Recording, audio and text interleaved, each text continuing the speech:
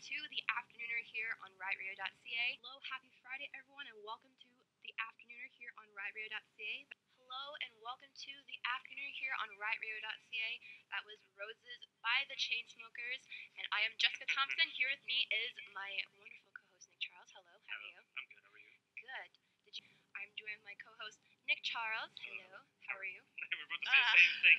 It's been a while. It eh? has been. been. A while. Thanks Yes, so far sure, about what is sure. going on.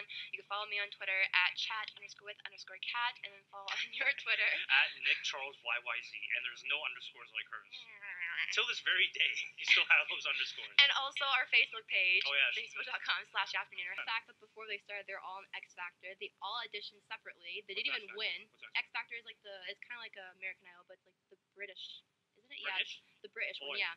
And Simon Cowell was on there, and he, Oh, he said that they would look better as a group instead of all by themselves. They didn't even make it through, and then they, he called them back saying, "You guys could be a group together." And then they even win the competition. Who won the competition? Do you know? I don't know, but they didn't win. But they they were formed a group, and then they became popular from that. And we usually have been doing this whole entire semester, and what we're gonna end with now is doing our six news stories. Yeah, we were gonna do this two weeks ago. Yes. But obviously some stuff happened. You know, with Well, us last and week, right. yeah. You know, nothing. Star Wars, the new movie is Ooh, coming Star out. Wars. Ooh. Yes. Uh, so apparently on um, omaze.com, I guess it's like a charity, uh, like a charity site that people Okay. can go and do donations for. And um, Harrison Ford actually Skyped with people that donated, and people thought they were just gonna Skype with the Omaze representatives Mhm. and talk about the donations and stuff. But yeah, he's on there, and everyone's probably like freaking out. So him.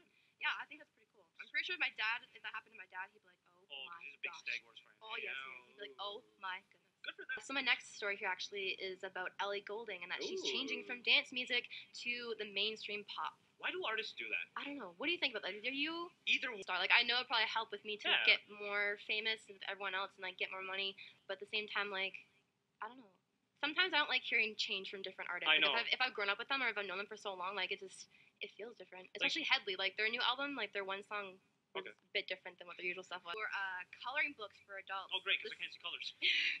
the sales apparently are like booming. Like a lot of adults. I actually have two apps on my iPad for like coloring, like little coloring books, and you pick the colors and you tap them in place. Okay, so And there's actually there's actually um like a cafe little thing. They have like a little gallery basically. we'll be talking about another like, cafe coloring. after the break, by Yes. the way. But yeah, But there's like it was like an event.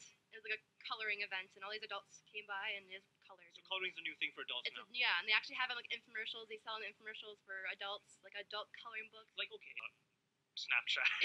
It's well, you know what it is. Yeah, it's basically you can take like a photo and you can write, you know, a text on it, or you can you know do the stickers, or you can even draw on it too. Yeah. So usually whenever I'm talking to like my friend Amber, and I'll talk in the text. If I don't have enough room, then I can just like write what else I'm saying. Yeah. And then also you can there's like a chat, separate chat. You can like swipe and actually talk to them, like type to them. Oh, okay.